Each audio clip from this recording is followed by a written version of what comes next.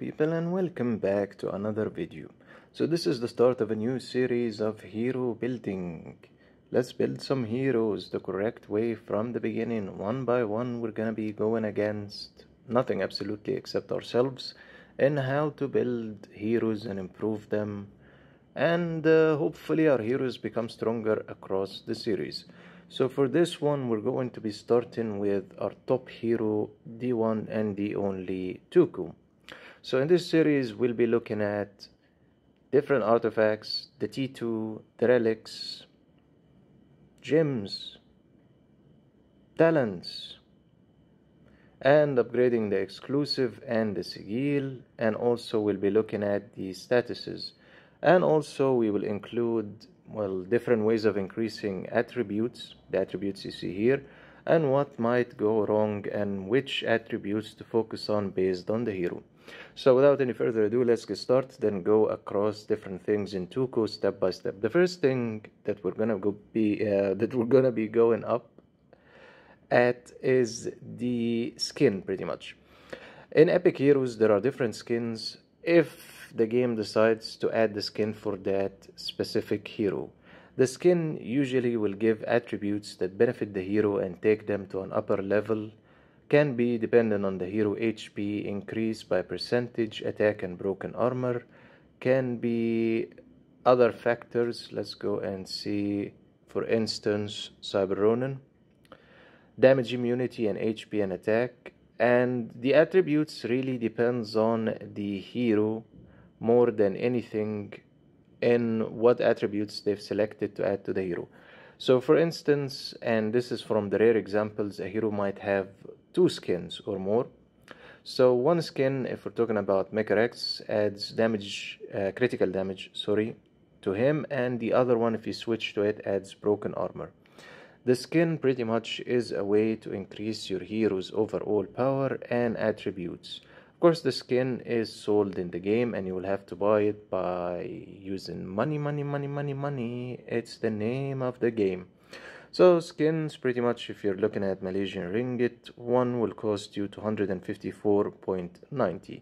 Now the skin aside from the aesthetics, the graphics, how it looks so nice, so nice, so clear, better than the original sometimes.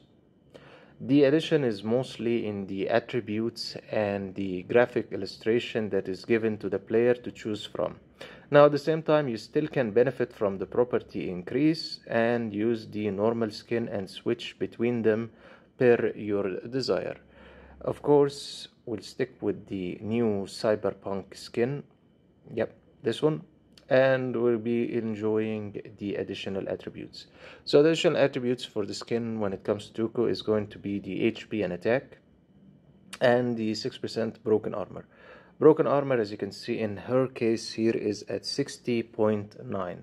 So 6% of that digit of the digit you see in the skin comes from actually having the skin and she wearing the skin. Now moving aside from the skin and different heroes have different skin, one of them is Toku. You have four slots for every hero for the artifacts. Pretty much it's the gear that looks like a shield, and a sword, and a helmet. And at the beginning you actually start off with it's not T1 and then you evolve it to T1 and then you can evolve it to T2.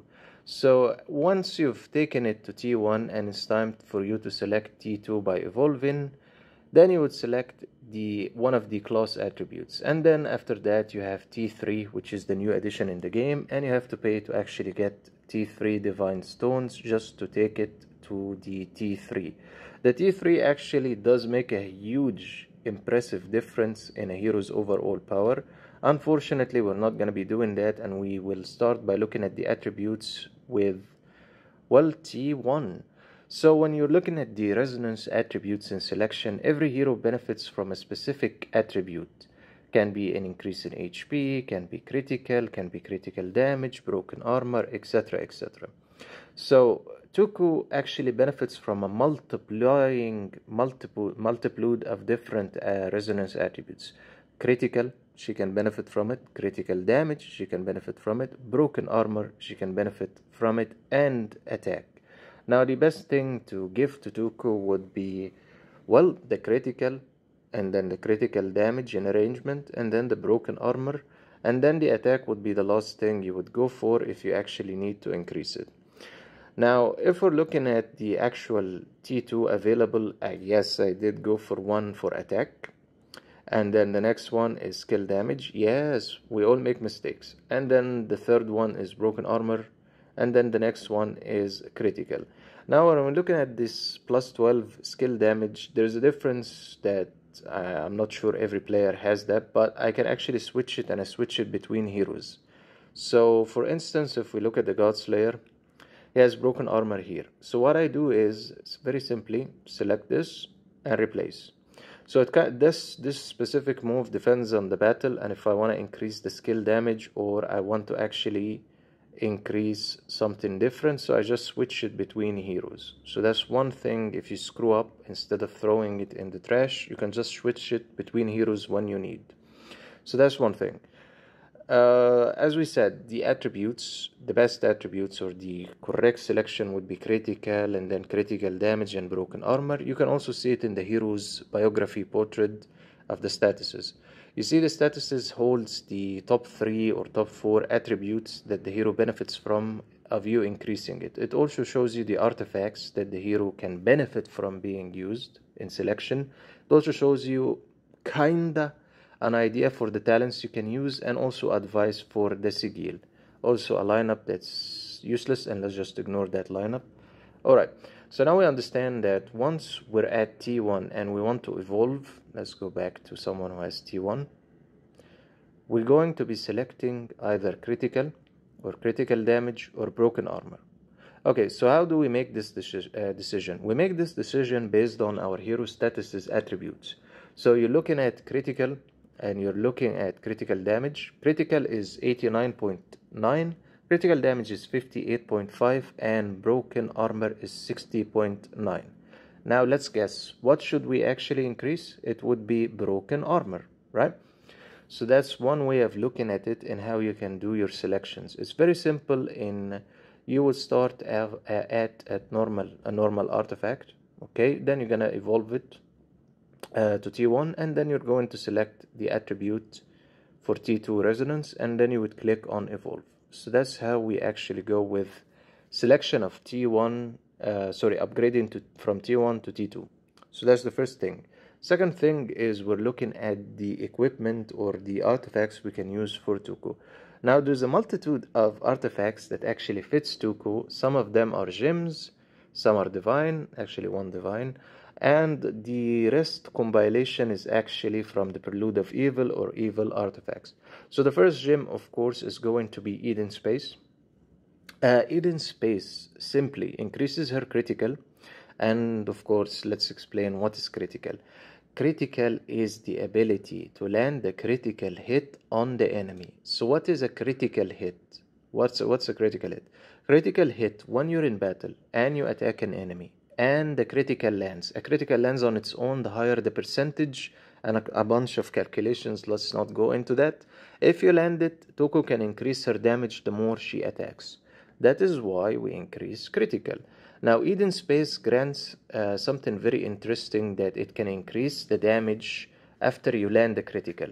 So Eden Space is used to increase the pursuit and follow up pursuit when you're when Toku is doing it and she causes more damage, the damage should increase as you are attacking. It also increases her attack by 30%.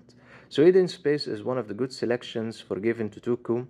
And usually if she's not doing enough pursuit and follow up pursuit, if you're another artifact or divine will or whatever, switch to Eden Space. That should make a difference. The next one is the meteoroid dust. The meteoroid dust pretty much again as soon as Toku lands a critical okay and it happens based on the critical percentage the higher the better in the attributes then her damage increases okay? So the more the critical increases the more she lands critical the more she will gain more damage or being able to do more damage. Now the meteor dust is different than eden space. It increases the critical damage so what is critical damage? Critical damage is when you land a critical. There's another percentage that's for critical damage. Let's look at it. So they actually mix and match together. So the higher the critical, the higher the possibility of landing a critical hit. Okay, and then comes in the critical damage. The higher the critical damage, as soon as it's landed, the more the increase in damage will be. Okay, sounds great. So we have two nice selections. One of them is to actually increase the critical rate each time a critical is landed by the meteor dust, and it will also increase the critical damage after that by actually just holding the gem itself, and that will equal Toku causes more damage actually. The higher the meteor dust is upgraded until level 30 at least, the better it can be.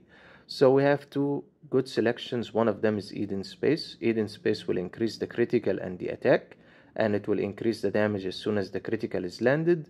The Meteor Dust will rely on the critical damage after a critical is normally uh, landed unrelated to the Meteor Dust. There will be an increase in the critical damage. It will also increase the critical damage attribute number and the attack also. So those are two attributes, uh, sorry, two gems that actually Toku can benefit from having.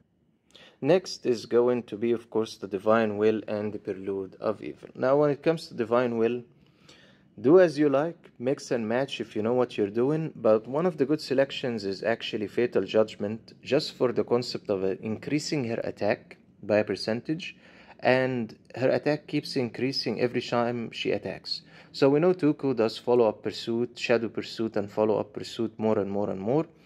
So the more she is able to attack round after round, the more her attack at increases increases by percentage. So fatal judgment is for those heavy fights that you want, let's say a good increase in attack faster.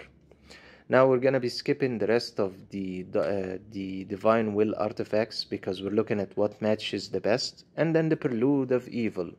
So for the Prelude of Evil, you have so many different artifacts that can match, about four or something. One of them is the Hunter's uh, Seth. Now the Hunter's Seth is an all-in-one when it comes to Toku.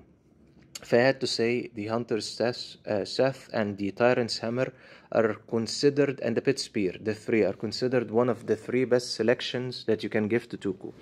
Because this one it mixes the attack and an increase in critical and an increase in critical damage. It also directly gives you that when you land the critical, there is an increase in the damage automatically, in the damage and the critical damage all in one. Now, the Hunter's Seth is actually very good to be collected because when it comes to battle against bosses, when it comes to uh, whatever attribute, uh, whatever game mode in the game, it really makes a difference in increasing Toku's damage by a large amount of millions actually. So easily by just having and equipping the hunter's Seth. So we're looking at again and recapping Eden Space as a good selection. The Meteor Dust as a good selection. If you're really stuck and you need some fast attack it's not gonna increase the pursuit and follow-up pursuit like you normally want, uh, want but it will give more output of damage fatal judgment and then we're looking at the dark artifacts. One of them is the hunter's seth the all-in-one critical damage and critical. And then you have the tyrant's hammer which is going to be critical damage and hp fantastic also. And one of the good ones is the pet spear which increases the critical and broken armor. Every time toku will do an attack a pursuit she will deal 100% of her attack as bonus damage and pretty much the more damage she causes in one round it will carry on and then increase etc etc so the pet spear is actually very good if you want to end the fight faster now moving on from the artifacts and the equipment it's actually artifacts not equipment but uh, let's go with that then you have the exclusive Toku's exclusive is very simplified. You want her to attack more shadow up pursuit and follow up pursuit, you need to upgrade the exclusive. Why? Because when you reach level 10, uh, each additional attack triggered by pursuit, it will reduce the target's damage reduction so you can do more damage. And then at level 20, each additional attack triggered by pursuit reduces the target's damage by 6%.